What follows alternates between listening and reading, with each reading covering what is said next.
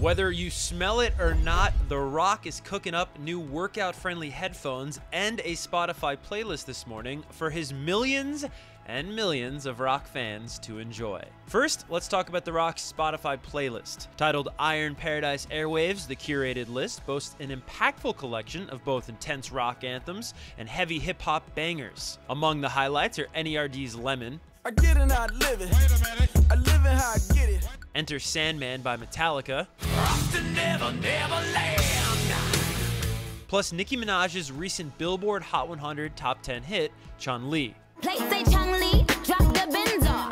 And if you need headphones to listen to all of this, The Rock has got you covered in that department as well. They arrive as part of Project Rock, a line of athletic apparel engineered for the craziest training sessions and were developed in tandem with Under Armour and JBL. For more details, head to billboard.com. And if you have any go tos on your gym playlist, let me know what those are down in the comments. Until next time for Billboard News, I'm Kevan Kenney.